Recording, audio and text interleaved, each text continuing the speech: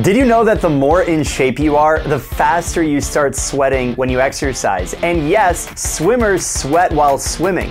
The real question is just how much sweat are we talking about? Now, the human body has anywhere from 2 to 5 million sweat glands. And the reason that we sweat is to regulate our body's temperature. We get hot and we start sweating. What's interesting is that there's actually two different kinds of sweat. You have regular sweat and stress sweat. So, regular sweat is when your body's hot, you're exercising, your body is excreting water, salt, and potassium in this form of sweat. The other form is called stress sweat, and this is where you're basically reacting based on your emotions, anxiety, excitement. And this is not just water, salt, and potassium, but you're gonna have fatty acids and proteins that are gonna leave your body as well. And fun fact, this actually doesn't have an odor. It only has an odor when it interacts with the bacteria on your skin.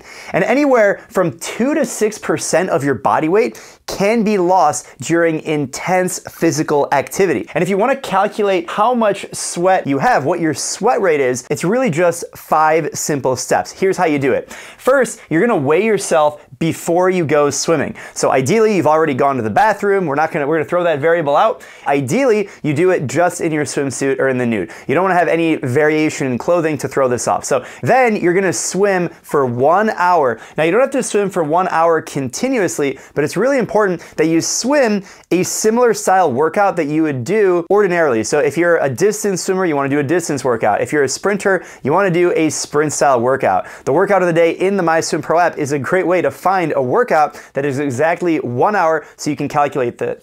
The other thing is really important not to eat or drink anything. Now this is counter to my advice that I'll give towards the end of the video, but for the sake of calculating your sweat rate, you actually don't want to have anything coming into your body between your weigh-ins. And then step three, you're gonna weigh yourself again, and it's really important that you dry yourself off. That includes your swimsuit because your swimsuit can actually carry some water weight as well. And now you're gonna have two numbers, your weight before swimming, before exercise, and then your weight after exercise. So you want to calculate the difference and convert it to kilograms. So if you're using pounds, convert this to kilograms. If you're already in the kilogram system, then you're good. Just make sure it's in kilograms. Then you're going to multiply this number, stay with me, by 1,000, and that is how you're going to calculate your sweat rate. And your sweat rate is defined by milliliters per hour. So I'm to give you an example, and this is similar to my body weight. Let's say someone weighs 80 kilograms in their first weigh-in.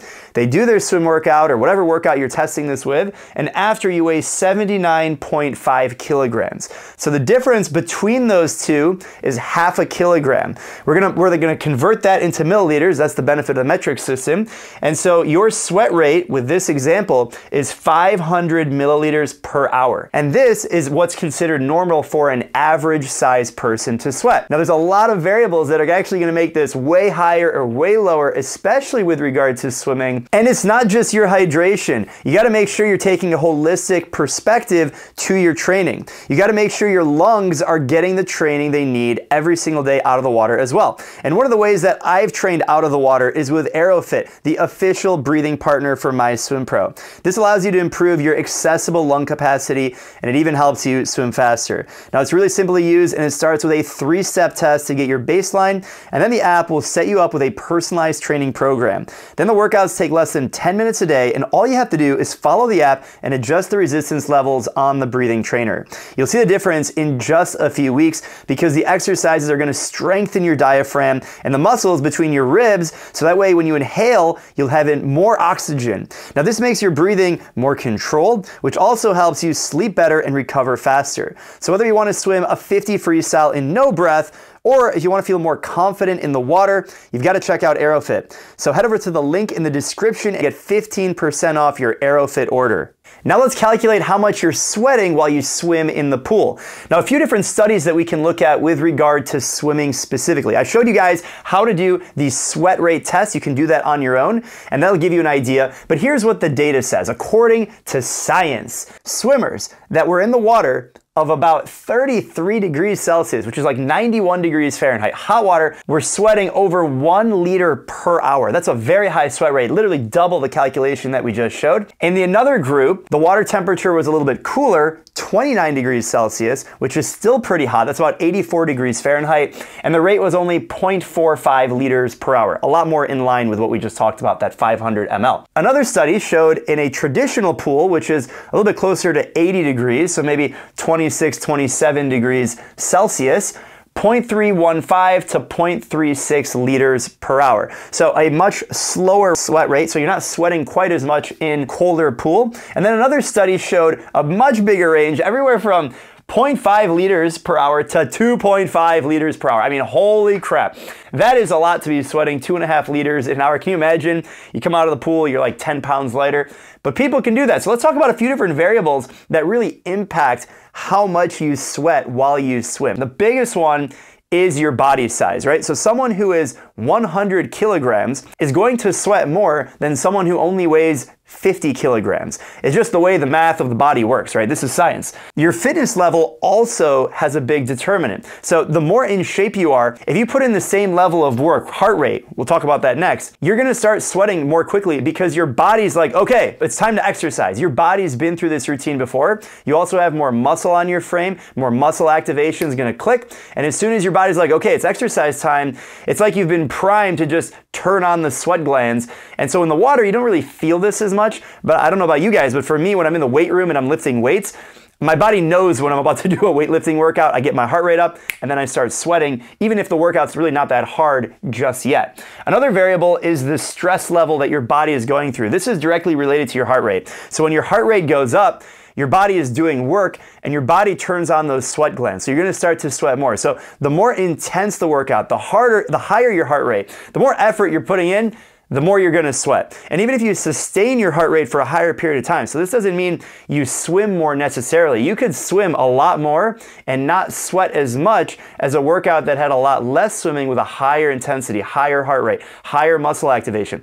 All of those things are gonna increase the amount that you're sweating. You're also gonna burn more calories, which means you need to replenish more because you're sweating and your body's burning a lot more calories. So keep that in mind. And then the other variable, which we really alluded to in these studies, is water temperature. This is the biggest variable for you as a swimmer. One day you could be swimming in a freezing pool, do the exact same workout as the next day in a hot pool. You're gonna burn more calories in the hot pool. You're gonna sweat more. You're gonna need to replenish your hydration all because the water temperature is that much higher. Now, if you're out for a, a, jog and let's say it's 35 degrees Celsius, 40 degrees Celsius, it's 100 degrees plus Fahrenheit, and you're going for a jog in the sun, you're gonna sweat. Even if you go walking, you're gonna sweat. If there's humidity, you're gonna sweat even more. And the reason is your body's trying to cool itself. These are some of the biggest variables that impact how much you sweat while you swim.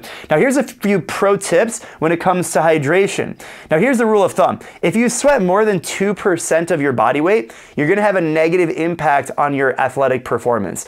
And so you want to prevent that by making sure you're hydrating at your sweat level. Remember, the average person, average size, average workout is going to be sweating at around 500 milliliters per hour. So you got to make sure you're hydrating yourself with that level. And most importantly, you have to remember you are not a camel. You can't just chug water and expect to retain it like a camel. In any case, make sure you have something with electrolytes. Remember, when we talked about sweating, when you have regular sweat, it's salt and potassium that you're losing. So you need an electrolyte that has a positive charge. So that way you can re energize your body to replenish not only the water, but also the salts as well.